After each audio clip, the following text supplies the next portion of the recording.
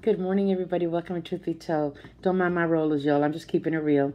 Heavenly Father, thank you for giving us this opportunity to seek you, to seek your face, Father God. I pray that you reveal yourself to us, Lord, in the glorious name of Jesus. I pray that you talk to us, Father God, that your words fall on fertile ground and that it bears much fruit for your kingdom, my King. Lord, open our eyes, open our ears to see the truth, Father God, that help us make us free today in the glorious mighty name of Jesus. Hallelujah. Hey, everybody. Thank you for joining me. So in Proverbs 23 7, it says, As a man thinketh in his heart, so is he. I talk a lot about as we think. We need to watch what we think. We need to think on purpose. Uh, so we're going to have a think session today. We should all take the time to think about what we think about on a daily basis. If you're not thinking about what you're thinking about, you're going to continue thinking and aligning yourself up with the devil, honey.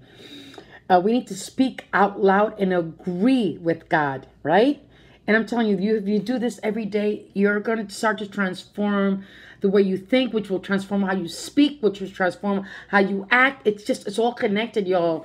But we have to get to the root of what how we think.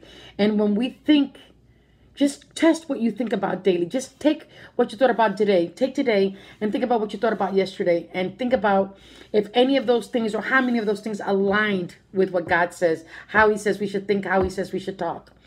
And we'll be surprised, man. I was surprised when I did that.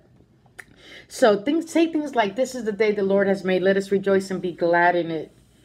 See, I say things like I'm looking forward to blessing someone today. I look for opportunities to show God's goodness, to show God's faithfulness through me. I actually look for opportunities. It takes my mind off of my life because I know that God is taking care of everything that I need. So it's a beautiful synergy, you know. I'm out there doing God's will and God's taking care of everything I need. So it works out pretty good for me. Uh, your thoughts, your words shall be accepting to God. So I say, Lord, let my words, my thoughts be accepting to you today. I have a mind like Christ. I think on purpose. I have the mind of Christ. See, I get excited to see God perform his promises in my life. I don't know about y'all, but I get excited. Ask anybody who knows me. I'm excited every day because I know that God performs miracles today. You know, we just have to be open to see them.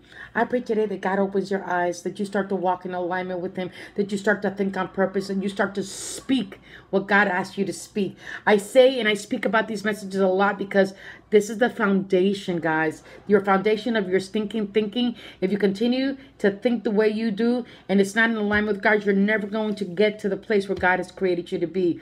You're never going to walk in the fullness of your purpose. And wouldn't that be ashamed? Oh, I pray today that you walk in the purpose that God created you for today. In the glorious mighty name of Jesus. Honey, I'm on Purpose Road and uh, Sanctity Avenue. Where you at? Holla.